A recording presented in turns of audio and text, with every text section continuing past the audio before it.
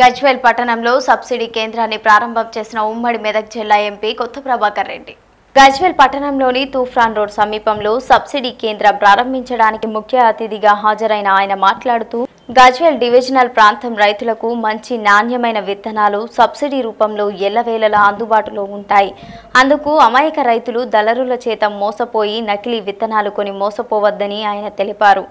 అంతేకాకుండా ఎరువుల కీటకనాశిని మందులు విత్తనాలు తెలంగాణ ప్రభుత్వం నిర్ణయించిన అధిక ధరలకు నకిలీ విత్తనాలు విక్రయిస్తే వ్యవసాయ శాఖ చట్టం ప్రకారం పీడీ యాక్ట్ లైసెన్సులు రద్దు చేయడం జరుగుతుందని దుకాణాలు సీజ్ చేయడం జరుగుతుందని కఠిన చర్యలు తీసుకుంటామని తెలిపారు. ప్రభుత్వం వచ్చిన తర్వాత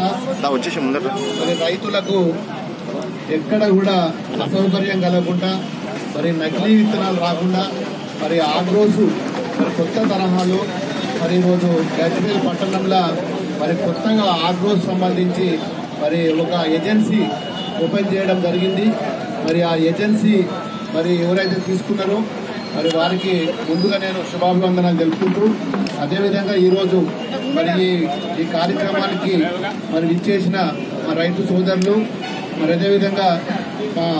మా మున్సిపల్ చైర్మన్ గారు మా కార్పొరేషన్ చైర్మన్ భూమిరెడ్డి గారు ఎలక్షన్ రెడ్డి గారు భూపత్ రెడ్డి గారు మరి టీఆర్ఎస్ పార్టీ సీనియర్ నాయకుడు ప్రతాప్ రెడ్డి గారు మరి అదేవిధంగా మరి మా కౌన్సిలర్లు మరి మా అగ్రికల్చర్ డిపార్ట్మెంట్ సంబంధించిన మా శ్రవణ్ కుమార్ గారు మరి కొత్తగా మొన్నగా మొన్ననే వ్యవసాయ శాఖలో చేరిన మరి ఉద్యోగులకు మరి అదేవిధంగా మీడియా మిత్రులకు మరి అందరికీ పేరు పేరున నా యొక్క నమస్కారాలు. ఈరోజు రైతులకు ఎక్కడ కూడా అసౌకర్యం కలగద్దు. మరి పంట పండించుకోవడం కంటే ముఖ్యము విత్తనాలు చాలా కీలకమైనవి. అదేవిధంగా మరి విత్తనాలతో పాటు మరి ఫర్టిలైజర్ కానీ పెస్టిసైడ్స్ కానీ మరి ఇవన్నీ కూడా మరి గత ప్రభుత్వాలు ఎప్పుడు కూడా మరి డూప్లికేట్ విత్తనాల వల్ల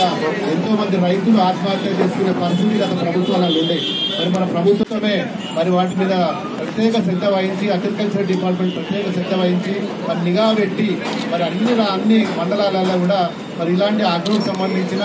మరి షాప్స్